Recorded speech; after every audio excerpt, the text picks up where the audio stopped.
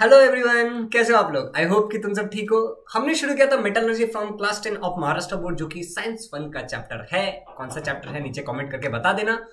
और आज इसमें हम देखने वाले हैं lecture number six lecture one two three four five ऊपर के आई बटन में मिल जाएगा बच्चों। और सुनो मेरी बात सुनो। इसमें आज हम देखने वाले अबाउट कोरोजन ऑफ़ मेटल्स मतलब मेटल्स का सत्यानाश कैसे होता है। हम देखेंगे कि उस सत्यानाश को हम कैसे बचा सकते हैं। मतलब प्रिवेंशन ऑफ़ करोजन और हम कौन से कौन से तरीके का यूज़ करते हैं, कौन सा कौन सा जुगाड़ है, जैसे कि galvanizing tinning anodization electroplating and alloying सभी चीज़ों को बहुत अच्छा कॉन्सेप्चुअली देखेंगे। बच्चों, अगर आपने अब तक चैनल को सब्सक्राइब नहीं किया है तो इस चैनल को फट से सब्सक्राइब कर दो और आपको पता है, इस वीडियो को देखने के बाद नीचे जाना एक लिंक होगा क्विज का। उस क्विज को अटेम्प्ट करना और अपना स्कोर ज़रूर कमेंट करके बताना। और अगर आपने हमारे टेलीग्राम ग्रुप को ज्वाइन नहीं किया तो प्लीज़ टेलीग्राम ग्रुप को ज्वाइन कर लो, क्योंकि बहुत सारे अपडेट्स वहाँ पे मिलते रहते हैं। चैनल को सब्सक्राइब कर लो और अब सीखते कोरोजन ऑफ़ मेटल्स के बारे में। यहाँ पे आपको एक गाड़ी दिख रही होगी राइट ये गाड़ी धीरे धीरे इस पे जंग लग रहा है। क्या लग रहा है इस पे? यस इस पे जंग लग रहा है। इसी जंग के लगने को मतलब गाड़ी का सत्यानाश होने को आयरन का कॉपर का एल्यूमिनियम का अलग अलग मेटल्स का हम देखेंगे। इसी सत्यानाश को कहते हैं करोजन ऑफ़ मेटल बहुत अच्छे से देखेंगे। तो बच्चों करोजन ऑफ़ मेटल हम कहाँ पे देखने वाले हैं? यहाँ पे देखने वाले हैं। यस हम करोजन को इस पॉइंट पे देखेंगे। ये वाले फ्रेम में देखेंगे। देखो, ये लेक्चर मैंने एक बार और रिकॉर्ड किया था, मगर उसका हो गया था सत्यानाश। कल आपने देखा होगा राइट अब आज तो मुझे लग रहा है कि सब सही जा रहा है। अब बाकी बात तो स्टूडेंट्स हम देख रहे थे कोरोजन ऑफ़ मेटल्स अब सबसे पहला सवाल उठता है कि what is meant by corrosion corrosion का मतलब क्या होता है? और फिर यहाँ पे पूछा है have you seen the following things ये सारी चीज़ें क्या तुमने कभी देखी हैं? अच्छा कोरोजन का मतलब तो मैंने आपको बताया था मेटल्स का सत्यानाश हो जाना करोड हो जाना डिके हो जाना डिग्रेड हो जाना, और ये सारी चीज़ें तुमने कभी ना कभी देखी होंगी। यहाँ पे कुछ सारी चीज़ें लिखी हैं कि कुछ चीज़ों जो तुम्हारे बिल्डिंग वगैरह में जो रॉड होता है, या फिर जो कॉपर वेसल्स होता है, यहाँ पे सब कुछ लिखा हुआ है। देखो, जो यहाँ पे फ़ोटो में दिखाया है ना, वही सारी चीज़ें यहाँ पे लिखी हुई है। तो इन सारी चीज़ों को अगर तुम छोड़ देते हो लंबे समय तक एयर के प्रेजेंस में तो क्या होगा? ये इस पे जंग लग जाएगा। तो ये चीज़ें यहाँ पे लिखी हुई हैं। अच्छा बच्चों, मैं माइक लगाना भूल गया। चलो, कोई बात नहीं, लगा दिया आप। अभी ध्यान से सुनो।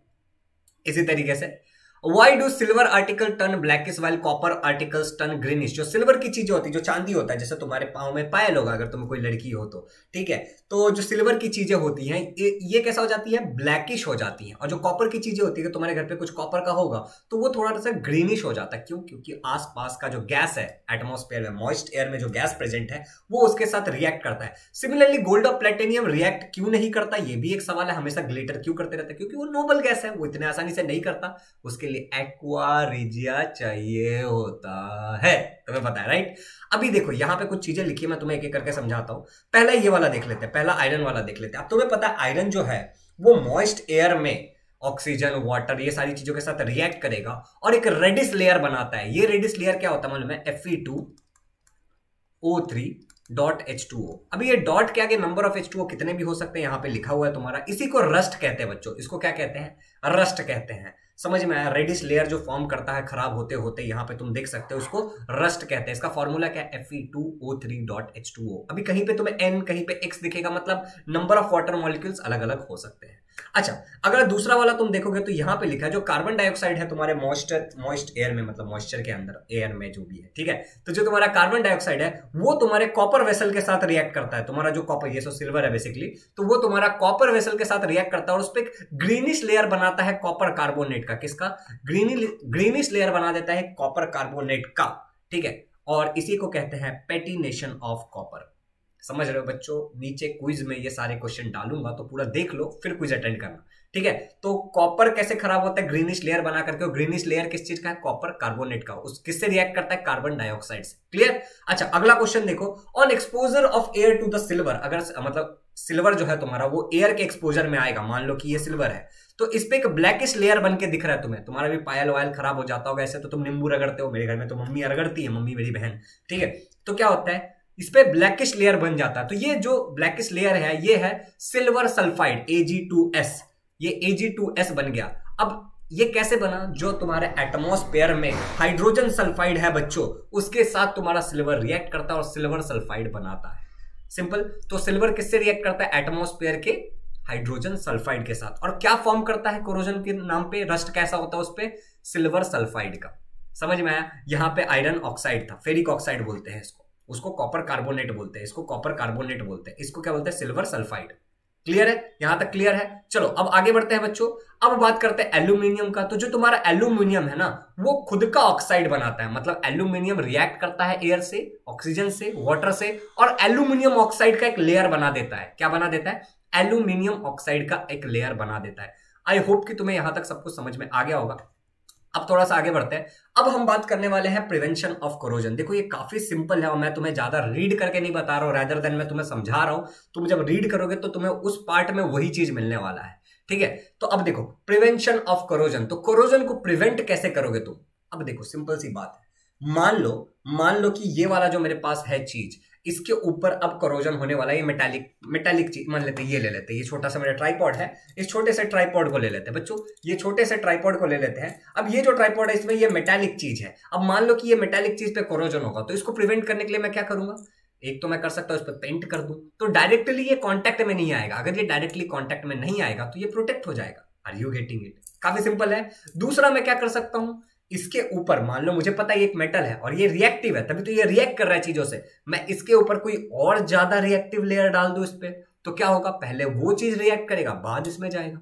आर यू गेटिंग इट तुम्हें कॉन्सेप्ट समझ में आ रहा होगा राइट right? तो वही चीज़ें यहाँ पे लिखी हुई हैं, अगर तुम देखोगे कि, देखो क्या लिखा है? Various methods are used to protect the metals from corrosion बहुत सारे मेथड यूज़ किया जाते हैं। स्पेशल अटेंशन इस बात को दिया जाता है कि सारे मेथड में आयरन डज नॉट रस्ट मतलब जो तुम्हारा मेटल है वो रस्ट ना हो। और we can use lower the rate of process of rusting of iron या फिर हम थोड़ा लो कर दे उसके रेट को। अब देखो यहाँ पे corrosion of metal can be stop by keeping the metal isolated from direct contact of contact of air जैसे मैं तुम्हें बताया ना, इसको अगर डायरेक्ट कॉन्टेक्ट से रोक ले, बीच में कुछ ला करके तो कोरोजन को रोका जा सकता है कंट्रोल किया जा सकता है। अगला देखो the prevention of corrosion can be achieve in various way and some of the methods are given below तो यहाँ पे कुछ मेथड दिए बहुत सारे तरीकों में से। पहला बोला है to fix a layer of some substance of or on the metal surface so the contact of the metal with moisture air and oxygen with the air is prevented and no reaction would occur between them कह रहा है कि direct contact को avoid कर दो, ठीक है? उस पर कोई चीज़ का लेयर फिक्स करके डायरेक्ट कांटेक्ट को अवॉइड कर दो।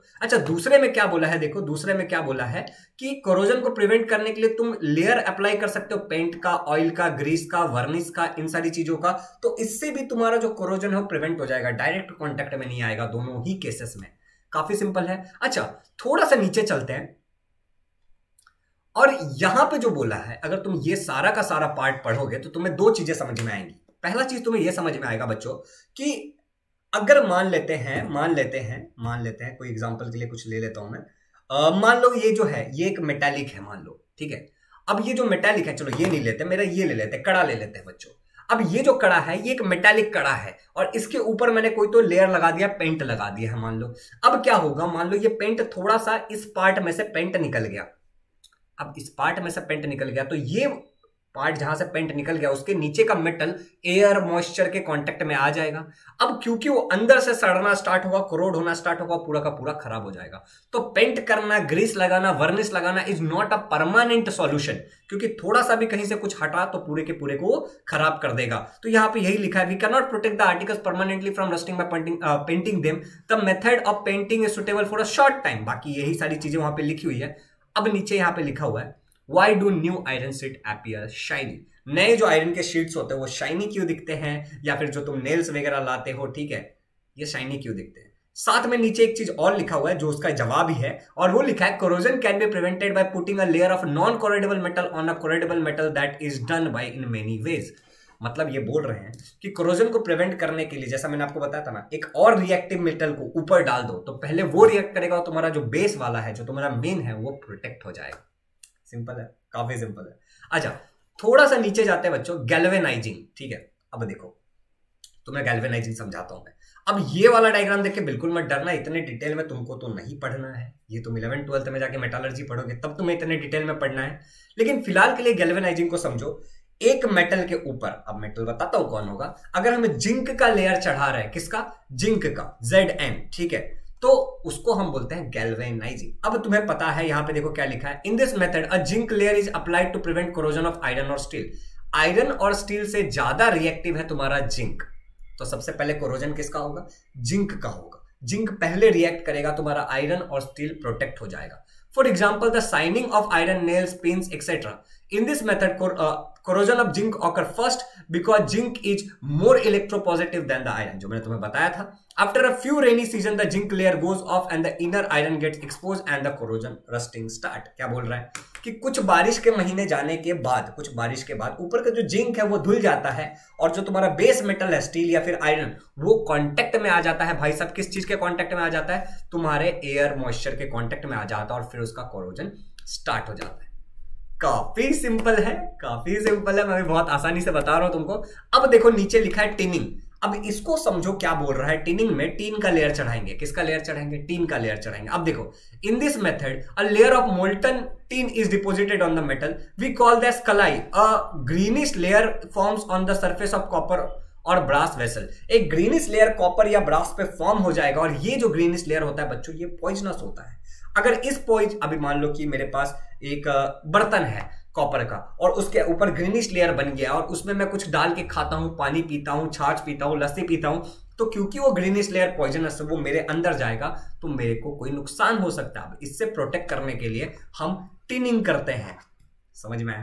तो tinning is done to prevent all such damages समझ में काफ़ी सिंपल है। टिनिंग मतलब किसी भी चीज़ पे मतलब देखो यहाँ पे बेसिकली कॉपर या ब्रास बोला है, टीन का मोल्टन टीन का लेयर चढ़ाना। सिंपल अच्छा अगला जो है एनोडाइजेशन और ये मेरा वाला फेवरेट है। ये तो मेरा वाला गाना है। याद रखना, आगे क्विज है, सब सीख लो और क्विज को अटेंड करो। अच्छा टीनिंग में क्या करते मतलब एनोडाइजेशन में हम क्या करते हैं मालूम है? हम एनोड बनाते हैं एक नया एक नया एनोड बना देते हैं। एनोड तुम्हें पता है, वो जगह होती है जहाँ पे ऑक्सीडेशन होता है। अभी देखो क्या बोला है?